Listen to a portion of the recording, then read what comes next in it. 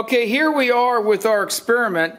This black box here um, is inside of it is the Franck Hertz tube, glass tube, which uh, we can't see because it's in an enclosure. Um, and there's the diagram on the tube is actually the diagram that I drew on the board and is in your lab manual for you. Um, you can see these these these voltages on here are um, I'll show you uh, that VG you can see VG2A and VG2K there. And of course that wiring comes over to this instrumentation here. And the wires out of the tube are are connected to these instruments. This instrument at the top here is the ammeter. It's going to give us our, our, the current from the collector plate. And then you'll see four numbers there. The upper right here is VG2K. This is actually the voltage that will vary throughout the experiment when the experiment is live and taking data. This is VG1K here, which is the voltage between grid 1 and the filament. Right now they're all turned down. Um, this voltage right here is, is, is the, the voltage between the collecting plate and the second grid, which decelerates the electrons from grid 2 to the collector plate. And this voltage right here is the, um, the fil uh, I'm sorry, I'm sorry. This one right here, the lower left, is, the, is going to be the filament voltage, which gives you the uh, current going through the filament in order to heat it up so the electrons get ejected.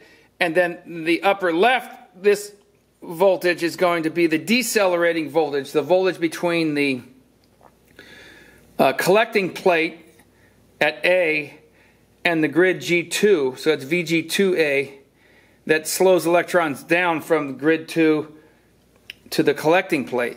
And then, um, of course, all of the those signals there are going to go into the computer with the Pasco software, and we will be able to um, record that in the Capstone software and get the Franck Hertz graph here, um, which is actually going to be quite exciting. So let me um, make sure I can see this graph. Uh, let me get, get some focus on this and see it in focus there. Um, that looks pretty good there. You know, these you don't want those lines blurry, you want them sharp. So you can see the graph being generated. So go ahead, Ryan, and let's start the, the data run. He's going to click, he clicks on start the data run, and he's going to vary that voltage on the, the uh, VG2K, and we'll just sit here and watch it happen.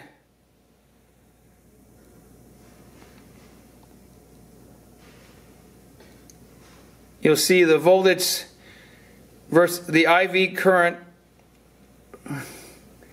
It's a little dip there. We'll see a and then it dips, okay, and then you go another 11 volts and it dips again. Another 11 point something volts, electron volts energy gap. And you see the Franck Hertz peaks and valleys being generated. And you will get this data sent to you. Now he's going to stop at around 84 volts uh, because that's all that tube can handle. Okay. Now this, this data file is um, something you'll analyze. And as you know, um, you can come in here and look at the, you can grab the, uh, you guys know how to do this.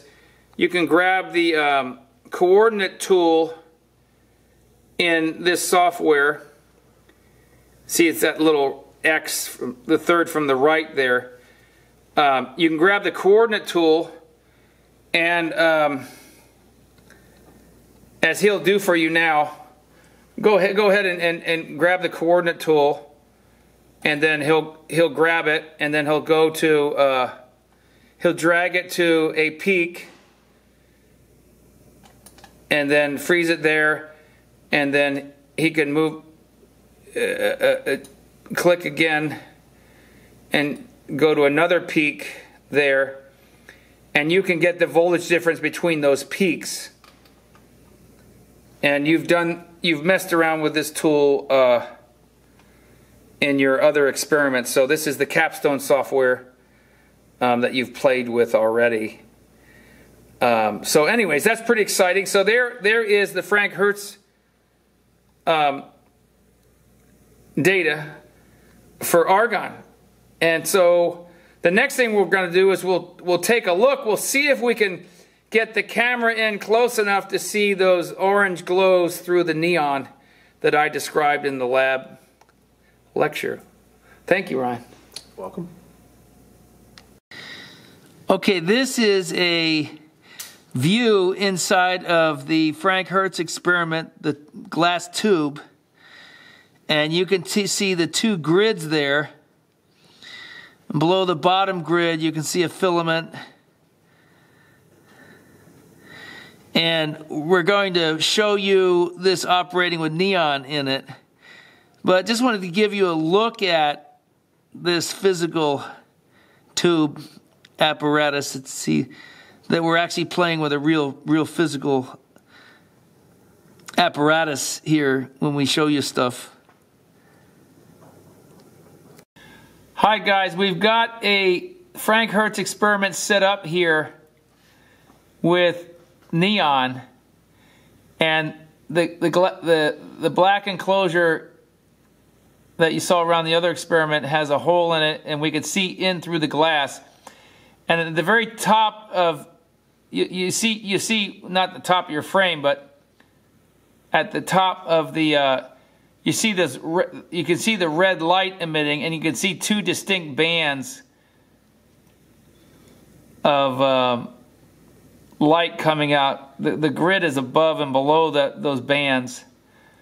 Um, so we're seeing the, the two sort of horizontal bands of orange light coming out from between the grid, uh, the two, grid one and grid two.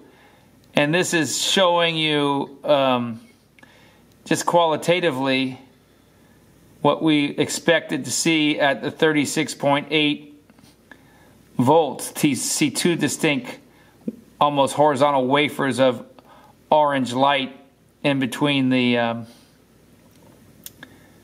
in between grid one and grid two for the the neon Franck Hertz experiment, a Franck Hertz experiment with neon gas in the tube.